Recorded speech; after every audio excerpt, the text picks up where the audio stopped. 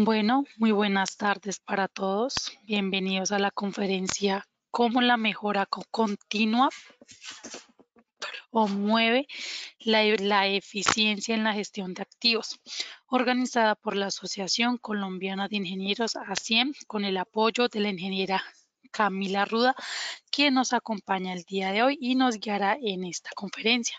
Recuerden que en el chat pueden ir colocando sus dudas o comentarios para el final exponerlos con la ingeniera. Eh, al final, eh, eh, antes de iniciar a la charla, los quiero invitar a utilizar nuestra plataforma de empleo SIL. En ella pueden observar ofertas del sector de la ingeniería y poder postularse de acuerdo a su perfil. La pueden encontrar en el portal A100 www.a100.org.co en la sección Servicios al Ingeniero. Bueno, en este momento quiero invitarlos a compartir el link de esta conferencia que dejo, que dejo en el chat con sus amigos y conocidos que deseen participar. Bueno, eh, sin nada más que decir, bienvenida, ingeniera Camila.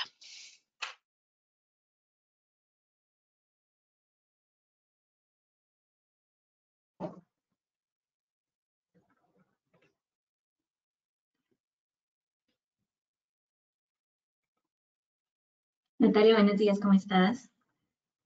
Buen día, ingeniera, ya estamos viendo su pantalla perfectamente y también su cámara. ¿Y me puedes escuchar bien? Perfecto. Muchísimas gracias, Natalia. Buenas tardes a todos. Espero que estén muy bien. Mi nombre es Camila Ruda Hernández. Eh, soy ingeniera mecánica de la Universidad de Antioquia. Soy especialista en sistemas integrados de gestión eh, y tengo experiencia en gestión de activos y gestión de proyectos. Mm, pues acá les voy a contar una cosa muy personal y es que eh, acabo de darme cuenta que em, pasé el examen de certificación de gestor de activos y confiabilidad, de gestión de mantenimiento y confiabilidad de ASIEM. Lo vi hace dos minutos, entonces agrego eso a, a mi presentación el día de hoy. Y como les contaba Natalia, eh, la idea es que hoy hablemos un poquito de cómo las herramientas o la metodología de mejora continua nos puede ayudar a la optimización en la gestión de activos de nuestra organización. Entonces, antes de, empezar a hablar de gestión de activos o cómo la mejora continua nos puede ayudar en nuestra gestión de activos, eh, hablemos de qué es la mejora continua. Espérame un segundo, yo escondo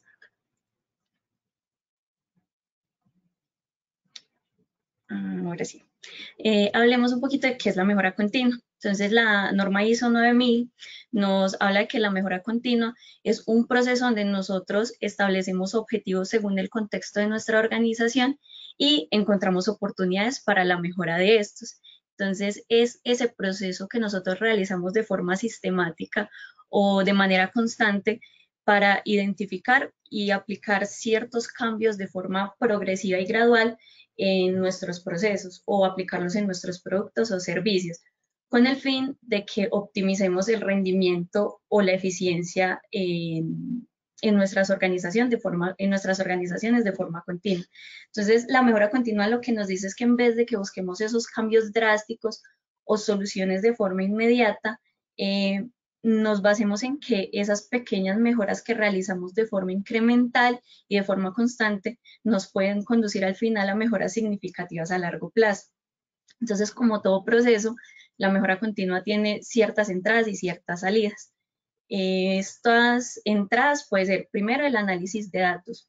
Eh, últimamente en las organizaciones, no solo en las grandes organizaciones que era donde se veía mucho antes, sino también en las pequeñas se ha empezado a implementar todos los CMMS eh, o software de mantenimiento, donde lo que hacemos es identificar todos esos datos que a nosotros como organización, a nosotros como proceso de mantenimiento, a nosotros como proceso de gestión de activos, nos, eh, nos dan ideas de cómo podemos o corregir errores o mejorar nuestros, nuestros procesos. Entonces, todo este tema de, de análisis y gestión de datos. Tenemos las actividades de revisión por la dirección, eh, que es donde le rendimos cuentas a nuestros directivos o a la gerencia de cómo ha sido nuestro proceso en cierto periodo de tiempo. Entonces, cómo ha sido nuestra gestión y esta gestión a qué resultados nos ha llevado. También tenemos eh, hallazgos de auditoría, que creo que es una de las, de las eh, herramientas o de las entradas mm, usuales en las organizaciones que tienen procesos o más bien sistemas de gestión. Y la más importante, para mí la más importante o la más usual y la más básica es el tema de las, observaciones de las, de las observaciones de actividades diarias.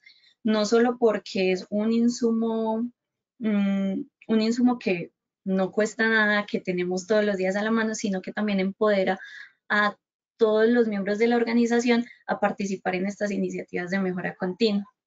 Entonces, todas estas entradas se convierten en estas salidas que son las acciones correctivas, donde sé que hay algo mal, debo corregirlo, como su nombre lo dice, eh, las acciones preventivas, que es, eh, no tengo, pues no hay algo que esté fallando en el momento, pero sí me estoy anticipando como esos futuros problemas que se pueden presentar en mi organización y los ataco desde el inicio o desde antes de que ocurra.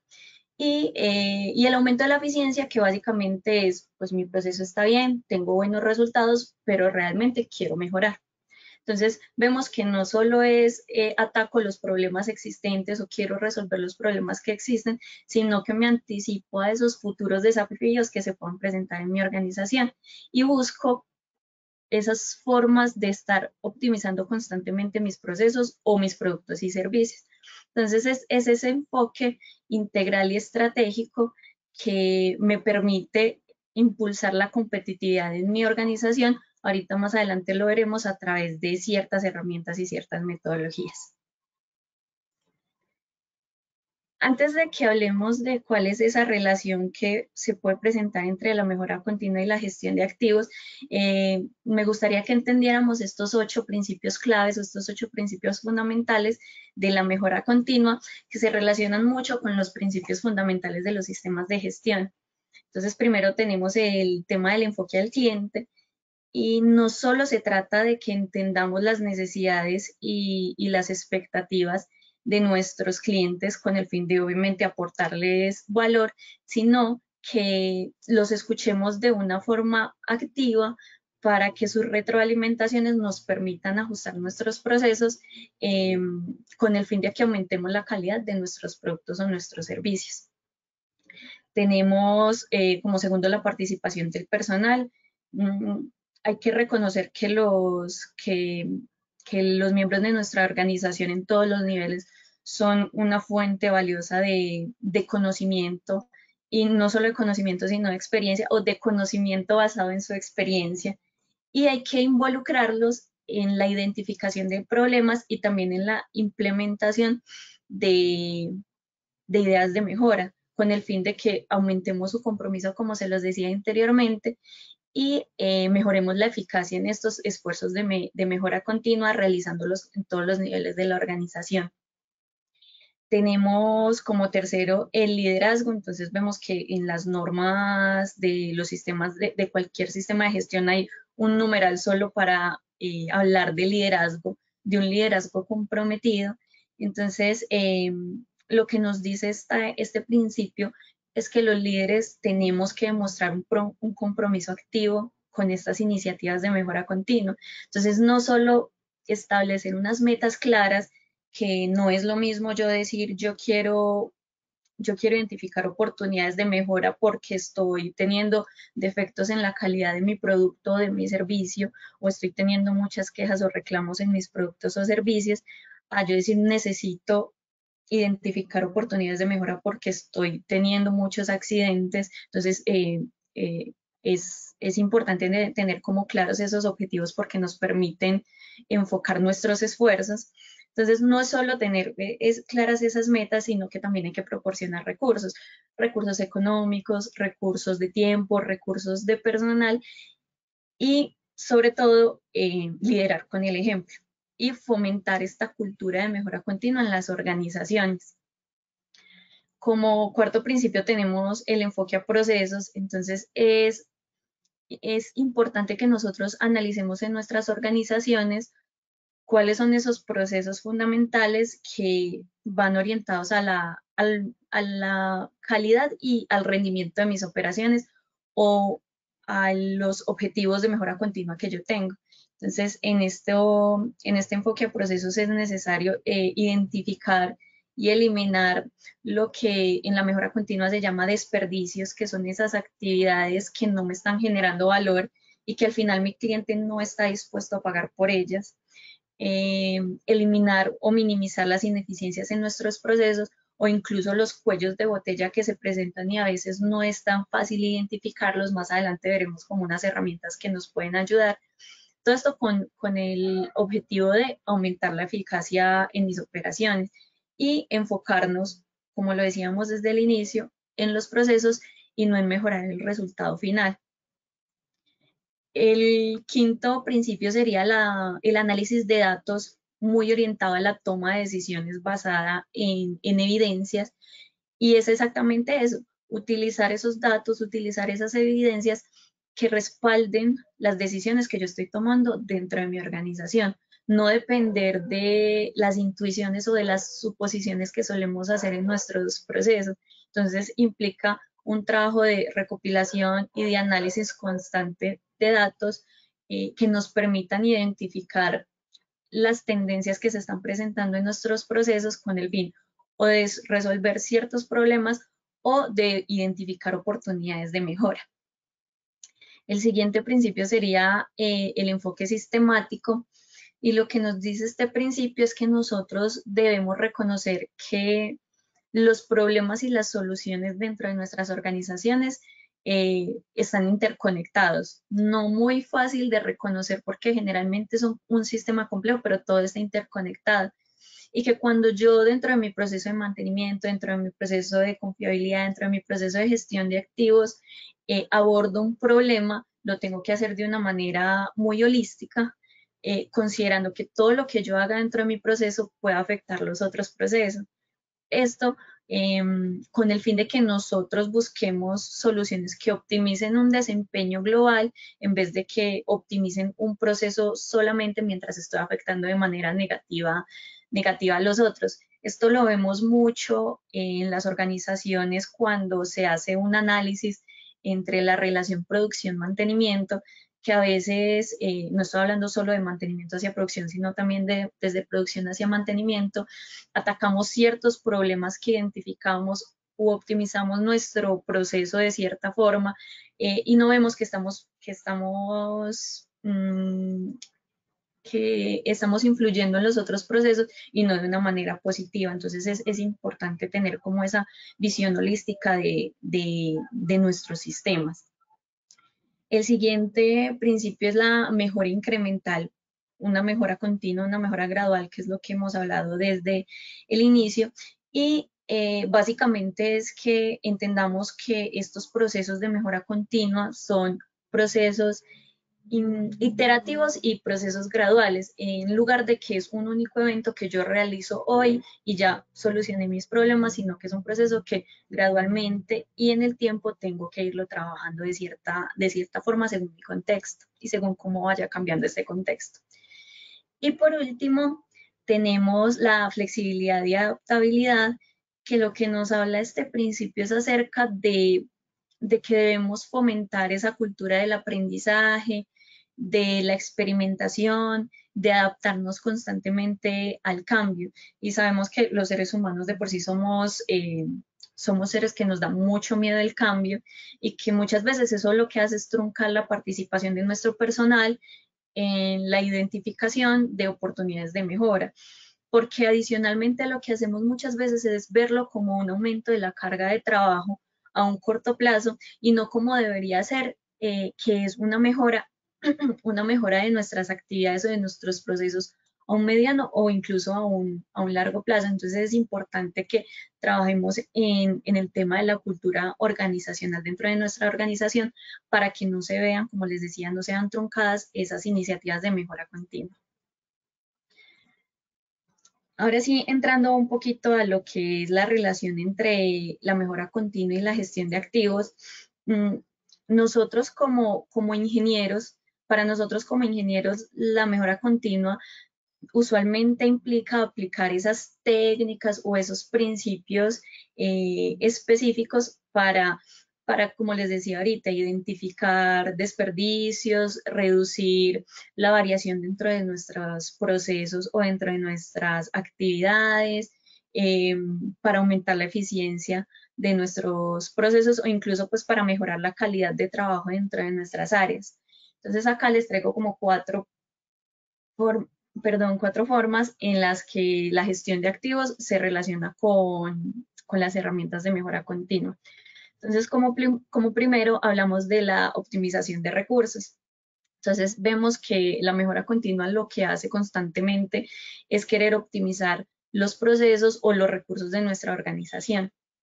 Y en la gestión de activos, lo que nos dice la mejora continua es que debemos maximizar la eficiencia en el uso de nuestros activos, entonces en el uso de nuestros equipos, en el uso de nuestra infraestructura, en el uso de nuestra maquinaria, eh, con el objetivo de que mejoremos el rendimiento operativo de estos. Como segundo, tenemos la optimización del ciclo de vida de nuestros activos. Entonces, en el, en el contexto de la gestión de activos, esta optimización del ciclo de vida de los activos eh, se, se, ve de una manera completa, desde que yo adquiero el equipo hasta que yo le doy una disposición final. Entonces, obviamente, pasando por la instalación, pasando por la operación y pasando por el mantenimiento. Entonces, lo que hace la mejora continua es ayudarnos a identificar cuáles son esas oportunidades de mejora en cada una o esas oportunidades de optimización en cada una de las etapas del ciclo de vida de nuestros activos para con esto eh, nosotros mejorar nuestro rendimiento nuestro rendimiento global, porque obviamente cuando optimizamos cada una de estas etapas eh, hay un impacto en los costos de la organización que normalmente todo lo que queremos nosotros es traducir estas iniciativas de mejora continua en un impacto económico. Como tercero tenemos las buenas prácticas de mantenimiento. Entonces, eh, la mejora continua promueve esa adopción de prácticas, de buenas prácticas de mantenimiento con el fin de que optimicemos o garanticemos más bien una confiabilidad y una disponibilidad de los activos dependiendo de nuestro, de nuestro contexto. Entonces, eh, cada uno define para su organización si, pues como el nivel de confiabilidad, el nivel de disponibilidad que yo necesito. Entonces, eh, la gestión de activos, más bien no, la mejora continua se centra en que identifiquemos y gestionemos los activos de nuestra organización de una manera muy eficiente a lo largo de su ciclo de vida. Entonces, esto incluye implementación de estrategias de mantenimiento preventivo, de mantenimiento predictivo, disminuyendo las prácticas reactivas que sabemos que en, en el contexto colombiano es algo que normalmente ocurre, que seamos muy reactivos, pero la idea siempre es que minimicemos el tiempo y en actividad no planificado, que como se los decía anteriormente, todo esto impacta en los costos de nuestra organización más adelante veremos como unas herramientas que nos ayudan a, optimizar los activos a través de las buenas prácticas de mantenimiento. Y por último, tenemos la mejora en la calidad de los, de los productos o de los servicios. Y yo acá, además de calidad, hablaría de también mejorar la confiabilidad de nuestros, de nuestros activos para a la vez llevarlo a una mejora en la calidad de nuestro producto o servicio. Entonces, em, lo hemos hablado mucho, eliminación de desperdicios, disminución de efectos, mejora de la calidad. Entonces, en la gestión de activos, todo esto se traduce en mejorar no solo confiabilidad, no solo calidad, sino también la seguridad de nuestros activos que a la vez se convierte en, en la seguridad de, nuestras, de nuestros colaboradores para un funcionamiento óptimo. Entonces, em, en resumen, como de estos cuatro aspectos, eh, vemos que la mejora continua y la gestión de activos están relacionados, ya que ambos lo que buscan es que optimicemos el rendimiento y la confiabilidad de nuestros activos de, la, de nuestra organización. Y que cuando integramos estas prácticas de mejora continua en nuestra gestión de activos, lo que logramos es una mejor utilización de nuestros recursos y una mayor confiabilidad en nuestros procesos que al final mejora nuestro rendimiento operativo y como les digo, lo que hace es mejorar eh, los costos de nuestros procesos. Entonces, hablemos un poco ya más de metodologías y herramientas que nos ofrecen la mejora continua para la gestión de nuestros activos. Entonces, estas metodologías lo que son son unos enfoques eh, estructurados que nos permiten que nos permiten maximizar el valor de nuestros activos y al final optimizar el, rendimiento de estos a lo largo del tiempo. Les mencionaré algunas metodologías, algunas herramientas, sin embargo hay que entender que cada una de estas es, es un mundo es un mundo y nos podríamos quedar horas hablando de cada una, entonces les mencionaré como las características generales de cada una y cada persona, dependiendo de su, del contexto de su organización, del contexto de sus procesos, eh, ya debe ir y, leer un poquito, instruirse un poquito más acerca de, estas metodologías, según, pues como les digo, según lo que las necesidades o las eh, iniciativas de mejora continua que tengan. Como primero tenemos toda la familia de las ISO 55000, entonces eh, estas normas lo que hacen es establecerme unos requisitos para la gestión de activos de una manera más eficiente. Entonces lo que hace es, es proporcionarnos esos marcos de referencia no solo para establecer, sino para que mantengamos en el tiempo un sistema de gestión de activos eh, que nos optimice el valor de estos a lo largo de su ciclo de vida. Entonces, implementar estas, estas normas lo que nos facilita eh, o lo que nos proporciona es una estructura para que nosotros, según el ciclo PHBA, planifiquemos, operemos, eh, mantengamos y mejoremos la gestión de activos de nuestra organización. Tenemos también la metodología Six Sigma, que es una metodología que busca reducir los defectos y la variabilidad en, nuestro, en nuestros procesos. Eh, todo esto a partir de un análisis de datos. Entonces, esta metodología lo que quiere es que nosotros recopilemos ciertos datos que sean útiles para, para nuestra organización o para nosotros tomar decisiones dentro de, nuestros, dentro de nuestros procesos y que estas decisiones, como lo hablábamos en la anterior diapositiva, sean basadas en hechos y eliminemos esa subjetividad dentro de nuestros procesos. Lo que ellos quieren es que nosotros eh, tengamos una definición, eh, que nosotros definamos estas, eh, estas mediciones, por supuesto, hagamos las mediciones, las analicemos, mejoremos como todo este proceso de, de medición y análisis y al final hagamos un control de todos nuestros procesos para que o eliminemos los problemas o realicemos mejoras dentro de nuestra organización. Tenemos eh, la metodología Kaizen, que Kaizen es un término japonés que significa cambio para mejor o significa mejora continua más precisamente. Y es esta metodología que se basa en esos cambios incrementales y constantes en nuestros procesos con el objetivo de que optimicemos la eficiencia del rendimiento de nuestras operaciones. Entonces, como se los decía anteriormente, esta filosofía se basa en que estas pequeñas mejoras realizadas de forma incremental por todos los miembros de nuestra organización, no solo por un, no solo por un grupo o estos círculos de mejora, sino por todos los miembros de nuestra organización, pueden conducir a mejoras, a mejoras grandes a lo largo, a lo largo del tiempo. Entonces, esta filosofía, como, pues, como se los digo, se basa en que toda la organización sea parte de estas iniciativas de mejora. Entonces se enfoca en el empoderamiento de todo el personal en la identificación y resolución de, de problemas.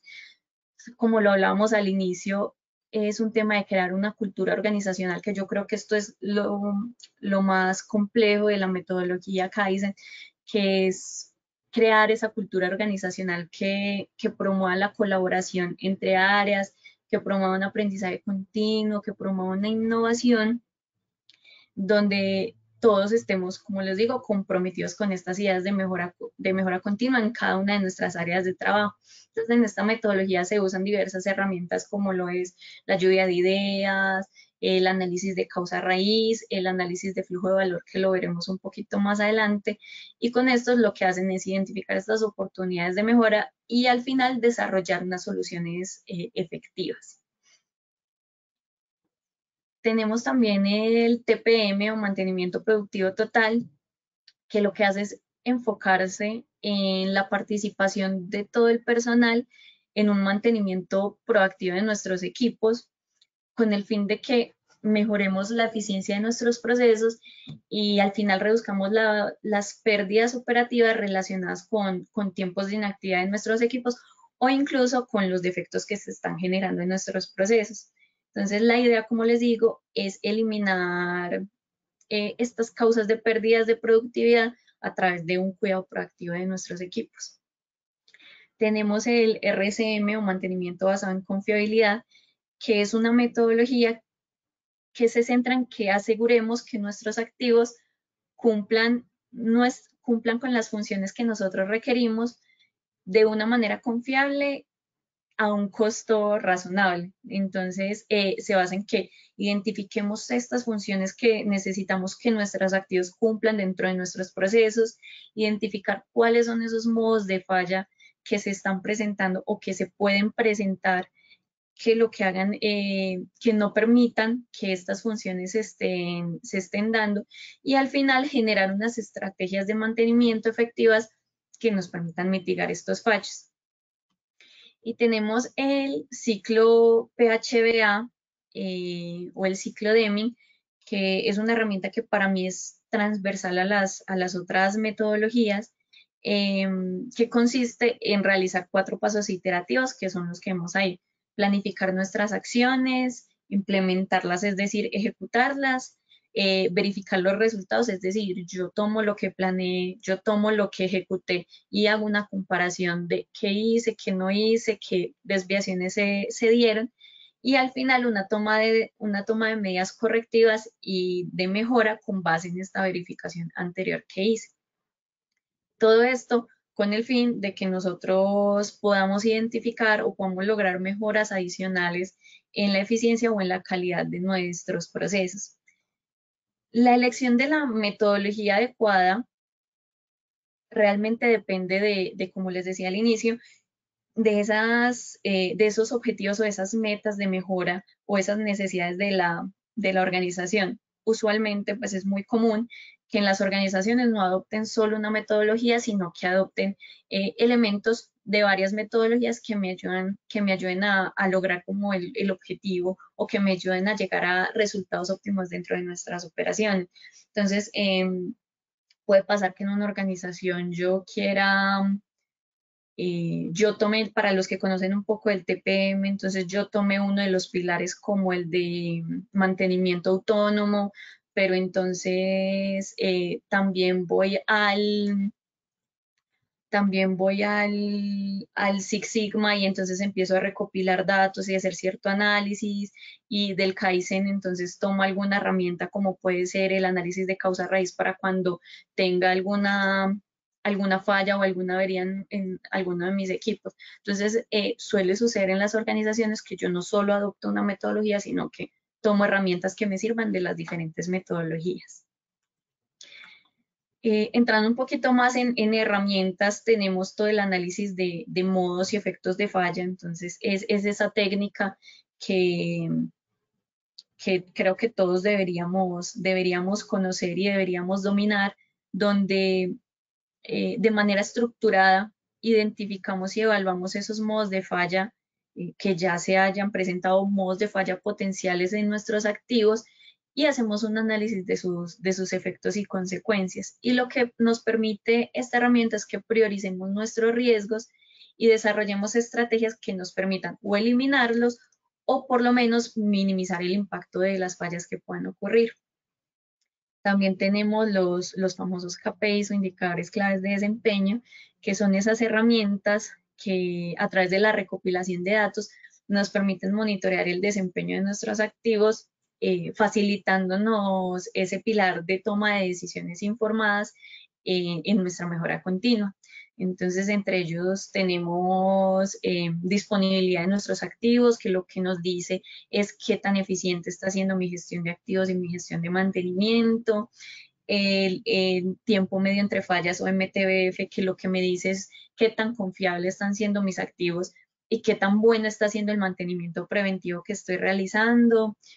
El MTTR o tiempo medio entre fallas, que lo que me dice es qué tan rápida está haciendo mis respuestas ante las fallas y qué tan eficiente está haciendo mis mantenimientos correctivos. Tenemos el cumplimiento del plan de mantenimiento preventivo, que igual me indica qué tan eficiente está haciendo mi programa de mantenimiento. Y de pronto entrando un poquito más al tema de costos, eh, podemos tener el costo de mantenimiento por, porcentaje de ingreso total, que me dice qué tan eficiente está siendo mi, gestión de activos y, de mantenimiento comparándolo con, con los ingresos globales de la organización tenemos también, como lo hablamos ahorita, todo el tema de CMMS o softwares de, de, gestión de mantenimiento asistido por computadora, donde lo que hacemos es centralizar toda la información de nuestra gestión de activos, recopilando los datos y monitoreando el desempeño de nuestros activos, igualmente para que se nos facilite esa toma de decisiones informadas para nuestros objetivos de mejora continua. Y también, para terminar, tenemos varias herramientas, estas cinco herramientas em, que surgen de la metodología o de la filosofía en Lean Manufacturing, que lo que quiere es identificar y eliminar esas ineficiencias en los procesos de nuestra organización, eh, en nuestra gestión de activos. Entonces, em, el lo que, lo que quiere es optimizar nuestros procesos, y al final mejorar nuestra eficiencia operativa. Entonces, esta filosofía tiene muchas herramientas, sin embargo, quise mencionar estas, estas cinco. La primera es el mapeo del flujo de valor, que consiste en tener un diagrama visual que represente cómo en nuestros procesos o cómo en nuestra organización sea todo el flujo de materiales o cómo sea todo el flujo de información a lo largo de, de los procesos. Entonces, desde que entra mi materia prima o entra mi información del cliente hasta que yo le entrego el producto o servicio final. Entonces, el, objetivo de, esta herramienta, perdón, el objetivo de esta herramienta es que identifiquemos y visualicemos todas esas actividades que nos están agregando valor a nuestras operaciones o cuáles realmente no, los, no lo están haciendo, que es lo que hablamos ahorita, que era llamado desperdicio. ¿Con qué fin? Pues obviamente con el fin de que las, elimina, las eliminemos o las que no pueden ser eliminadas porque son actividades necesarias o obligatorias se puedan reducir y se puedan tener controladas. Entonces lo que hacemos es que cuando podemos visualizar ese flujo de valor, ese flujo de material, ese flujo de información, podemos identificar cuellos de botella, podemos identificar dónde se están dando tiempos de espera entre una actividad u otra o entre, o entre nosotros y el cliente, dónde se está dando exceso de inventarios de materias primas o de producto, de producto procesado, de producto final, en qué etapas estoy teniendo movimiento innecesario de material o movimiento innecesarios de personal. Y lo que permite es que eh, identifiquemos esas oportunidades de mejora y desarrollemos estrategias que nos permitan optimizar nuestros, nuestros procesos y al final optimizar el producto o servicio que estamos entregando a nuestros clientes. Tenemos eh, las cinco S que son esos, ese conjunto de técnicas de organización que se utilizan para que mejoremos nuestro entorno, nuestro entorno de trabajo. Entonces, como yo no hablo japonés, se las voy a decir en español.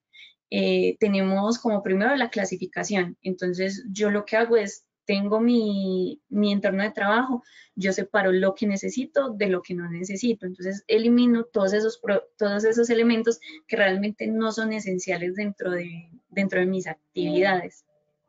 Tenemos la organización, que es listo, yo ya clasifiqué qué necesito y qué no necesito, entonces voy a ordenar de una manera sistemática todos esos elementos que yo dije que eran necesarios para mi proceso. Entonces, no solo que tengan una ubicación específica, sino que a la hora de yo necesitarlos sean de fácil acceso.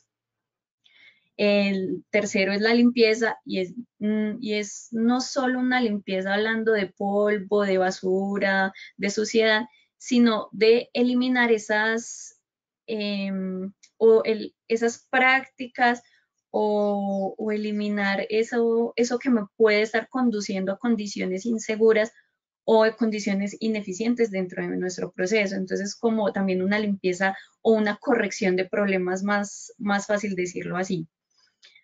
Como cuarto tenemos la estandarización, entonces ya acá viene una parte un poco más de documentar, de tener estándares, de tener procedimientos que nos permitan tener esta clasificación, este orden y esta limpieza para que cuando una persona nueva, una persona diferente llegue a ese puesto, no tenga que iniciar desde cero la parte de clasificación, orden y limpieza, sino que ya tenga unos estándares que le permitan aplicar estos principios anteriores.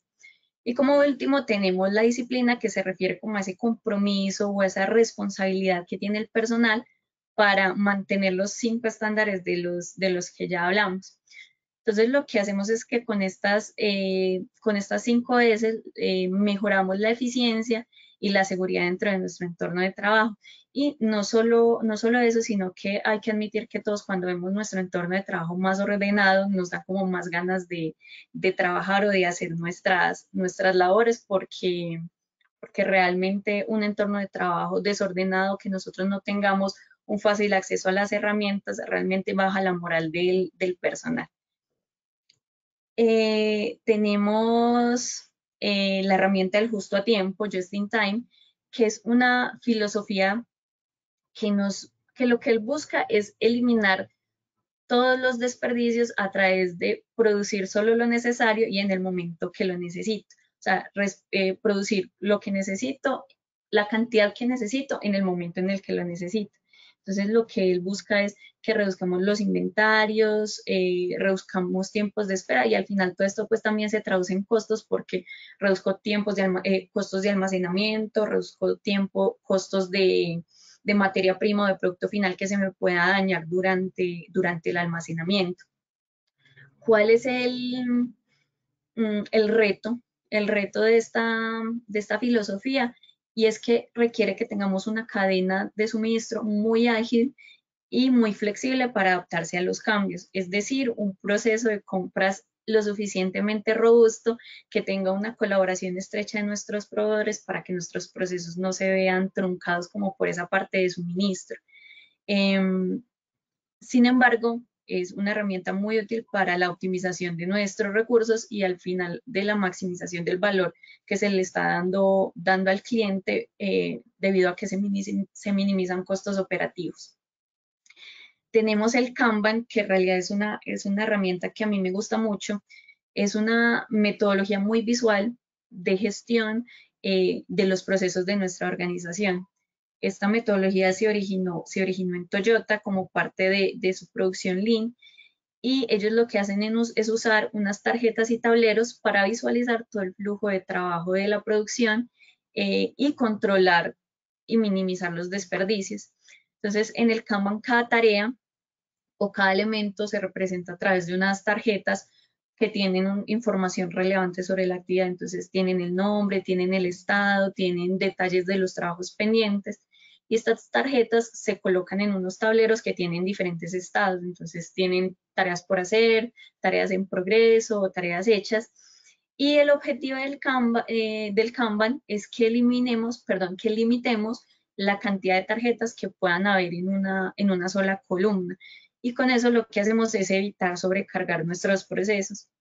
Entonces, cuando establecemos estos límites, podemos minimizar nuestros tiempos de espera o más bien lo que podemos hacer es mejorar la capacidad de respuesta que tiene nuestro equipo ante, ante cambios en las demandas. Entonces, eh, facilita que visualicemos y hagamos un seguimiento a nuestro flujo de trabajo y que identifiquemos y abordemos nuestras, nuestros procesos y los optimicemos. Em, esta herramienta me parece, me, me, gusta mucho y es porque es una herramienta que, que se puede trabajar sea cual sea el, tamaño o la madurez de nuestras organizaciones. Porque como les decía, la herramienta del justo a tiempo es una herramienta que requiere un proceso de compras muy sólido, muy sólido, entonces puede que, una empresa que recién está, está surgiendo o una empresa que apenas está empezando a estandarizar todos sus procesos, sea un poco más complicado llegar y, e implementar inmediatamente un justo a tiempo antes de trabajar en otros temas como sería sus, su estandarización de procesos.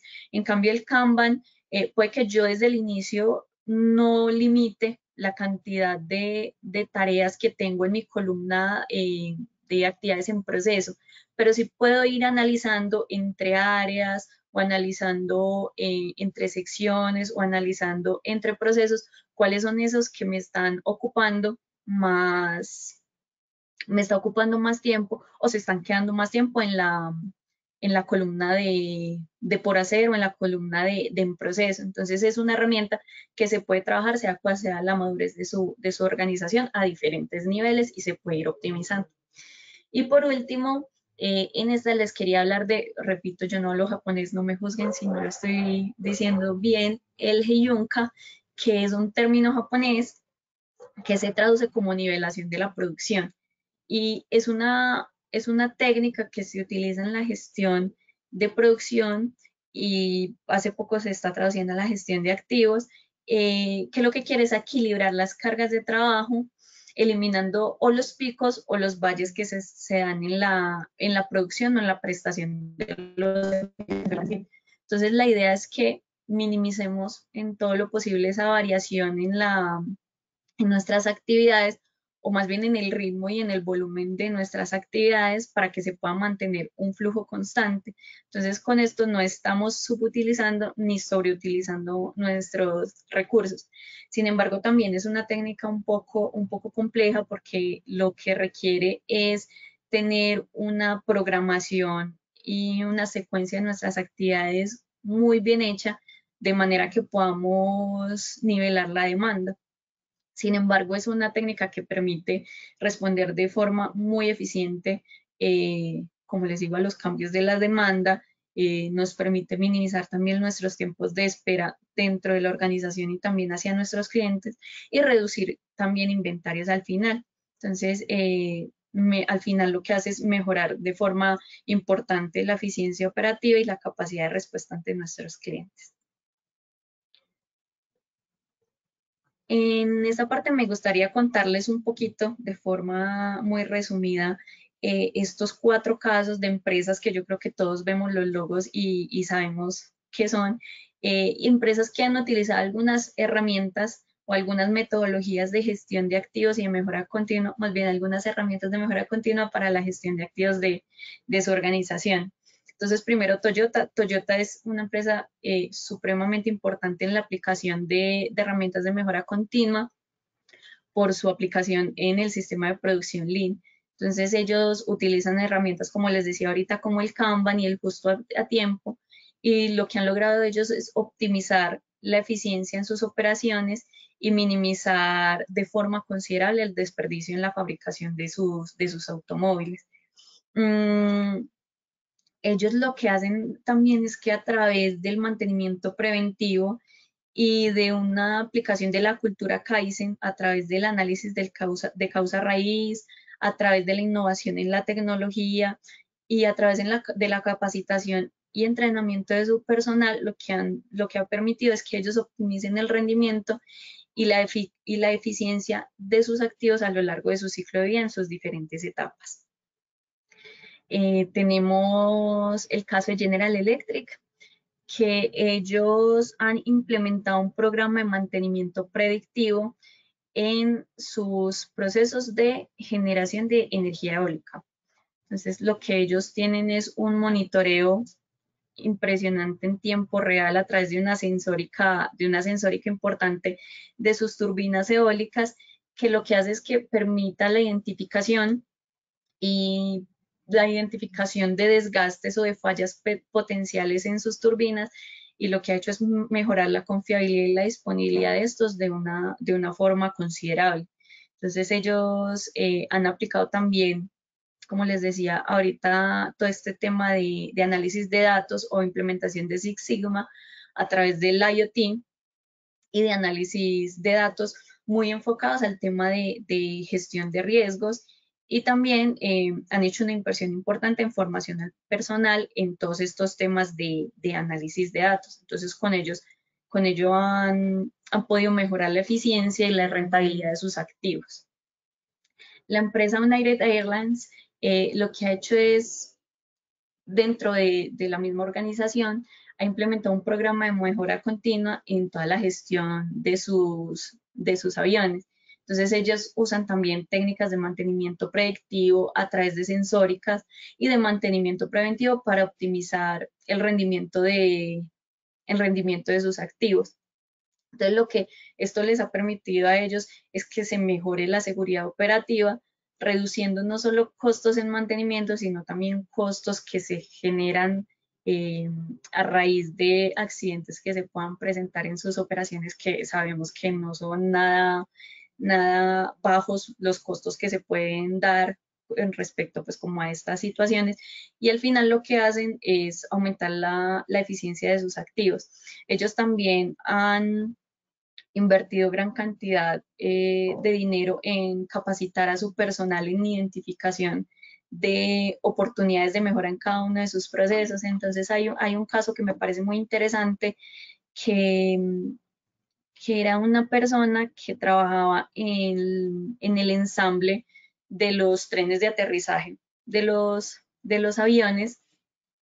Y ellos lo que y el señor lo que identificó era que cuando el que cuando el avión iba por cierta zona por cierta zona eh, con unos ganchos que ellos, que ellos manejaban para, para, no sé para qué proceso manejaban esos ganchos, la verdad, pero tenían unos ganchos en el suelo para ciertos procesos, las llantas se solían, se solían dañar y eso conlleva pues a, ciertos costos en, en repuestos. Entonces, eh, lo que hizo este señor con un equipo que, que tenía en su área de trabajo era identificar esto y lo que hacían era cubrir las llantas con una lona que permitía que a pesar de que pasaran por esos ganchos, estas no se, no se dañaran. Entonces, eh, esto surgió a través de toda esta capacitación e identificación de herramientas o más bien de identificación de oportunidades de mejora dentro de nuestros procesos. Por eso es muy importante el principio que les decía ahorita de empoderar a nuestro personal en todas estas, en todas estas iniciativas de mejora continua. Y por último, eh, tenemos el caso de Amazon, em, que Amazon lo que ha hecho es aplicar todo esto de mejora continua, todas estas herramientas de mejora continua en su distribución y en su logística. Entonces, ellos utilizan todo lo que es un aprendizaje automático y herramientas de robótica que les permitan optimizar no solo sus procesos de almacenamiento, sino sus procesos de distribución. Entonces, con esto lo que lo que pasa es que han podido mejorar la velocidad y la precisión en la que hacen, en la que hacen sus operaciones. Entonces, no sé si, si de pronto sabían que eh, después de todo este tema de aprendizaje automático, lo que hicieron fue que adquirieron unos, unos robots que lo que hacen es escanear unos QRs que se encuentran en la parte inferior de las de, los lugares pues donde almacenan sus, sus, sus materiales y lo que hace el robot es que va escaneando y cuando encuentra la estantería donde está el producto que él necesita, eh, ya hay otro sistema, hay otro sistema que lo que hace es llevar ese elemento o esa estantería hasta donde puede ir el personal que está haciendo la, que está haciendo la, la recolección o, la, o el empaque de lo que se va a distribuir. Entonces, con, esto y a través de una gestión muy eficiente de, del feedback de los clientes, eh, lo que les ha permitido es maximizar la eficiencia de sus operaciones y al final incurrir de manera importante en la, en la minimización de sus costos de distribución y de logística. Y ya para finalizar, pues quería como, como resumir esas consideraciones que se debe tener a la hora de querer implementar de forma exitosa una iniciativa de mejora continua en nuestras organizaciones para la gestión de nuestros activos. Entonces, primero, el tema del compromiso de la alta dirección. Entonces, es fundamental que, la alta dirección se comprometa con, con, esta implementación de la mejora continua, eh, proporcionando el apoyo en términos de recursos, en tiempos de términos, en términos de liderazgo y que respaldemos todos esos esfuerzos que se están teniendo de mejora continua. Eh, está el tema de establecer objetivos claros, lo hablamos desde el principio, antes de iniciar cualquier iniciativa de mejora continua, valga la redundancia, eh, debemos tener claros esos objetivos y que sean medibles y que se alineen con las estrategias de nuestra organización. Entonces sabemos que podemos implementar esta estrategia de tener objetivos SMART, entonces que sean específicos, medibles, alcanzables y que tengan pues como un tiempo, un tiempo definido. Y muy importante que sepamos cómo le vamos a dar cumplimiento dependiendo del nivel, cómo le vamos a dar cumplimiento desde una parte estratégica, desde una parte táctica y desde una parte operativa. Eh, tenemos el tema de identificar áreas de mejora sabemos pues que, em, que se debe realizar un análisis exhaustivo de los procesos de gestión de activos donde nos permite identificar cuáles son las áreas de mejora. Entonces, esto puede, puede necesitar auditorías, evaluaciones de riesgo, análisis de desempeño de nuestros activos y como lo hablamos de nuestro, desde el principio, un tema de retroalimentación desde nuestro, desde nuestro mismo personal. Em, seleccionar herramientas y metodologías adecuadas. Vimos que existen diversas herramientas, diversas metodologías que podemos aplicar en nuestras organizaciones. Entonces es, es importante que de acuerdo al contexto de nuestra organización y de los desafíos que yo he identificado, seleccionemos la o las herramientas que pueda eh, trabajar dentro de mi, de mi organización. Eh, trabajar la resistencia al cambio, desde el, desde el principio lo hablamos, eh, un tema de generar una cultura, una cultura organizacional orientada a, la mejora continua de nuestros procesos, involucrar, no solo involucrar, sino capacitar a todo nuestros, a nuestro personal. Eh, por los ejemplos que vimos anteriormente, vemos que el éxito de la mejora continua depende en gran medida de qué tan involucrado y qué tan capacitado esté nuestro personal para eh, desarrollar estas iniciativas de mejora continua y que debemos garantizar que todos estemos equipados con esos conocimientos o con esas habilidades que nos permitan participar en los procesos de mejora continua. Y por último, eh, establecer una metodología que me permita hacer una medición y un seguimiento de todas mis iniciativas de mejora continua. Entonces, eh, establecer estos indicadores que me permitan medir el progreso eh, hacia mis objetivos de mejora continua y evaluar también cuál es el impacto que están teniendo eh, estas, estas iniciativas de mejora continua en mis operaciones. Entonces es importante que monitoreemos regularmente el desempeño de nuestros activos y realicemos los ajustes que sean necesarios según lo que identificamos. Listo, eso era lo que les quería compartir el día de hoy. Muchísimas gracias por su atención y no sé si tienen alguna inquietud. No sé si Natalia en el chat tienes alguna, alguna inquietud.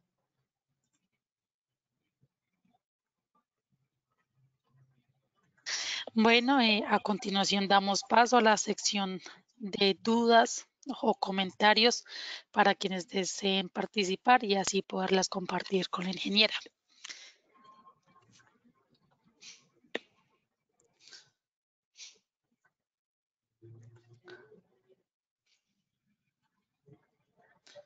El ingeniero Frederick eh, Aguirre tiene la mano levantada, entonces en este momento le voy a habilitar el micrófono para que nos pueda contar su inquietud.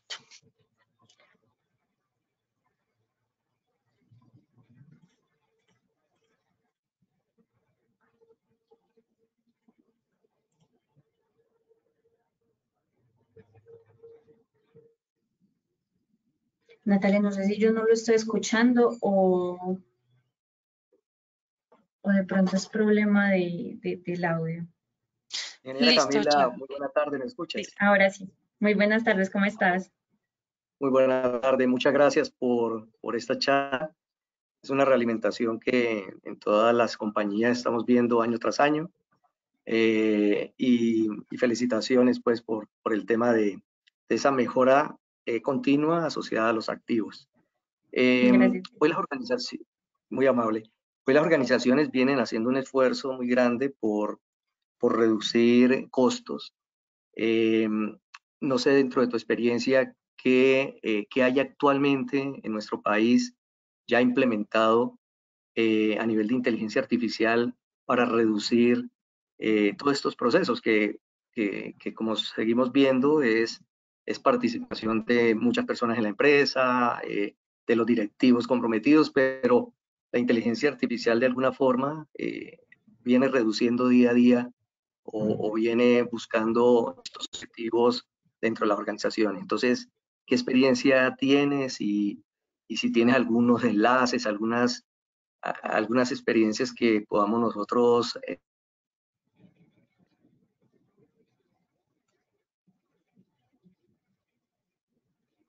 Sí, claro, creo que se cortó el audio, pero, pero entendí tu pregunta. Actualmente eh, nosotros hemos trabajado con, con, inteligencia artificial en la parte de identificación de estrategias de, de, mantenimiento y de planes de mantenimiento y cómo podemos optimizar nuestros planes de mantenimiento a través del uso de estas herramientas de, de inteligencia artificial. Entonces, no solo eh, optimizando el plan de mantenimiento, sino también permitiéndonos em, ser más eficientes con nuestro uso del tiempo cuando programamos y planeamos todas nuestras estrategias de mantenimiento. Ya pues esto es un, tema un poquito largo y complejo para, más que complejo, largo, para, para explicártelo en este momento, pero estas estrategias de, o estas herramientas de inteligencia artificial, personalmente las he utilizado mucho para el tema de, de planeación y de programación de, estrategias e implementación de metodologías de mantenimiento en, en, la, la, gestión de activos de las organizaciones. Sé también, aunque esto no lo he utilizado tanto, pero sí lo he visto en muchas organizaciones que, como lo habíamos, lo conversamos ahorita un poquito, en algunas herramientas o en algunos de los casos que les presenté de, organizaciones, todo el tema de, del IoT, Internet de las Cosas y del monitoreo de condiciones en tiempo real le ayuda pues como a muchas organizaciones a reducir costos en mantenimientos reactivos y ser un poquito más proactivos a la hora de implementar estas estrategias de mantenimiento. No sé si respondo tu inquietud. Sí, genera. Muchas gracias. Eh, solo, solo si tienes algunos enlaces o a través de ACIEN, eh, a quien agradezco también los, estos, estos seminarios, pudiéramos tener eh, ejemplos de las experiencias que, que, tenemos en la industria. Entonces, de todas formas, no sé, no sé, Manuel, así como podríamos como generar esa, esa interacción.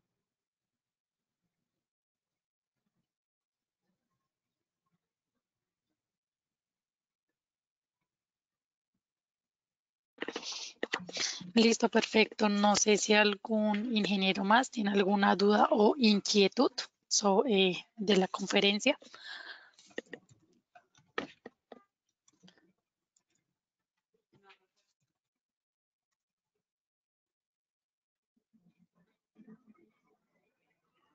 Eh, el ingeniero Rubén, entonces en este momento le habilito el... No sé si tiene alguna inquietud, ya que alzó la mano, pero la volvió a quitar. Eh, o Rubén, en este momento le habilito el audio para que pueda comentarnos su inquietud. Ahora sí, buenas tardes, ¿me escuchan? Sí, señor. Sí, ingeniero. Ante todo agradecer pues por la eh, por el seminario, pues estuvo muy interesante. El, digamos que pues mi planteamiento o mi inquietud va alineado como en parte a, eh, qué desafíos, eh, qué desafíos comunes se enfrentan las organizaciones como al integrar estos, estos enfoques de, mejora continua en la gestión de activos y, cómo pueden superarse desde tu experiencia, desde tu, digamos, como todo el bagaje que has tenido con, con este tema ¿qué nos puedes decir que tengamos como en consideración y que pues esto nos sirva pues para, para inclusive tenerlo en cuenta al momento de, de, implementar o los que ya lo tenemos en esa vía de implementación, pues es un punto a favor. Listo, perfecto, Rubén. Ay, no sé si hay, se me quitó la pantalla, no sé si ya no estoy compartiendo pantalla. Ah, no, ya. Eh, en, esta, en esta diapositiva, entonces yo les hablaba de cuáles eran esas consideraciones que se debían, que se debían tener y te voy a contar desde mi experiencia cuál ha sido la más, la más compleja o las más complejas. Entonces el, el, primero es el tema de, de la cultura organizacional. Realmente eso es muy complejo, es muy complejo eh, sobre todo dependiendo de, del contexto en el que, en el que, estemos, en el que estemos trabajando. Em, para nadie es un secreto que para ciertos sectores es un poco más difícil mm, generar cambios. Eh, mm. para, no solo para ciertos sectores de la industria, sino también para cierto eh, público, pueda decirlo por así, para ciertas características en el personal, es muy, es muy difícil generar esta cultura de, la adaptación, del aprendizaje, de la colaboración entre áreas. Y realmente me encantaría decirte cuál es la fórmula que puedes aplicar para hacerlo, pero realmente eso depende de cada organización. Pero sí te puedo decir cómo puedes ayudar. Y, eh, y es lo segundo que a mí me parece a veces más complejo y es el tema del liderazgo. Si, no, si la organización, el personal no ve a sus líderes, a sus directivos comprometidos o incluso identificando y generando estrategias de mejora continua, ellos tampoco lo van a hacer. Créeme que ellos tampoco lo van a hacer. Pero si ven un líder que está constantemente eh, observando, retroalimentando, comunicando, no solo pues como dejarlo a nivel de, de los directivos, sino también comunicándole a, a su personal todas estas estrategias y cuáles pueden ser o cuáles han sido los resultados de estas iniciativas de mejora continua, va mejorando va mejorando mucho y ellos se van empezando a empoderar y también eh, asignar responsabilidades, tener una muy buena planeación, eh, no solo de nuestra gestión de sino también de, estas eh, estrategias de, mejora continua. Entonces, tener como todo un plan, tener responsables, como te digo, estar comunicando constantemente, y estar desde la parte de la parte directiva muy involucrados en estas estrategias de mejora continua para poder empoderar y mostrarle a nuestro personal qué cambios pueden tener, no, no tanto a largo plazo, pero sí a un mediano y a un largo plazo con el trabajo en estas iniciativas de mejora continua. Ok, muchas gracias. A ti, Rubén.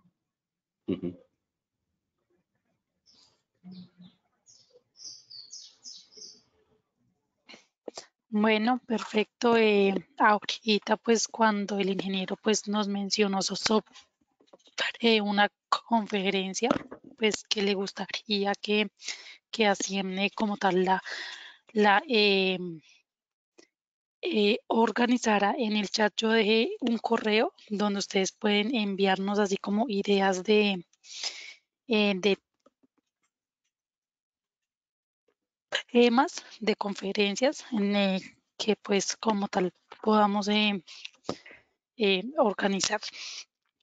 Bueno, em, en este momento estamos recibiendo diferentes comentarios de agradecimiento por la exposición del tema. Al no haber más dudas, le agradecemos a la ingeniera Camila por su valioso tiempo, por toda la información y la explicación. Nos gustaría saber si es posible nos compartir el material expuesto. Sí, claro que sí, por supuesto. Perfecto. Mm, me regalan un momentico.